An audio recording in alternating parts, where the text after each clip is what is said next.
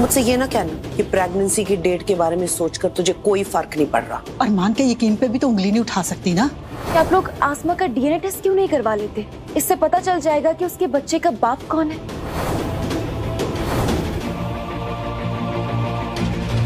आप यहाँ? ये देख ये रिपोर्ट आप लोगों ने आसमा को गलत साबित करने का क्या ठेका लिया हुआ है? पुत्र एक बार रिपोर्ट तो देख लेता। बच्चा मुर्तजिम का है। क्या अरमान करेगा आसमा पर शक? आसमा बनने वाली है मॉम शो की कहानी आगे बढ़ती है और हम देखते हैं कि किस तरीके से यहाँ पर जो आसमा है उसकी बैट लगा देता है यहाँ पर ज़ोर से जद जो कि यहाँ पर पट्टी पड़ाती है जेड को आलिया।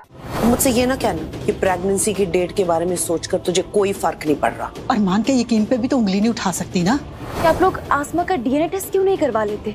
इससे पता चल जाएगा कि उसके बच्चे का बाप कौन है। आप यहाँ? ये देख ये रिपोर्ट आप लोगों ने आसमा को गलत साबित करने का क्या ठेका लिया हुआ है? पुत्र एक बार रिपोर्ट तो देख लेता। बच्चा मुर्तजिम का है। और हम देखते हैं कि जिस तरीके से गेम में ये सब हो जाता है हादसा तो आसमा को तुरंत हॉस्पिटल लेकर जाया जाता है। और यहाँ पर पता चलता है आसमा माँ बनने वाली है।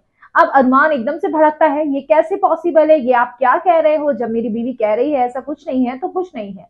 तो यहाँ पर सब उसे काम डाउन करते हैं। अरे डॉक्टर्स के साथ ऐसे बात मत करो काम डाउन रहो। तो यहाँ पर बुआ बोलने लगती है कि कहीं ये हैदरकोट में तो नहीं हुआ ये सब। दैट मीन्स कहीं ये मुर्तजिन का बच्चा लेकर तो नहीं घूम रही है। जिसके बाद यहाँ पर जो रिपोर्ट्स आ जाती है तो ये बात पूरे तरीके से सामने आ जाती है, आसमा प्रेग्नेंट है। ठीक है, आसमा प्रेग्नेंट है, लेकिन ये इसकी कोख में किसका बच्चा है? काफ़ी समय तो ये हैदरकोट में रही और इसके बाद जो है, अब यहाँ पर अगर कहा जा रहा है कि ये बच्चा हैदरकोट से तो नहीं है, मुर्तजिम का तो नहीं है तो यहाँ पर अरमान का दिमाग तो खराब होगा ही। अब देखते हैं आने वाले एपिसोड में क्या अरमान का विश्वास आसमा के प्रति डगमगाएगा।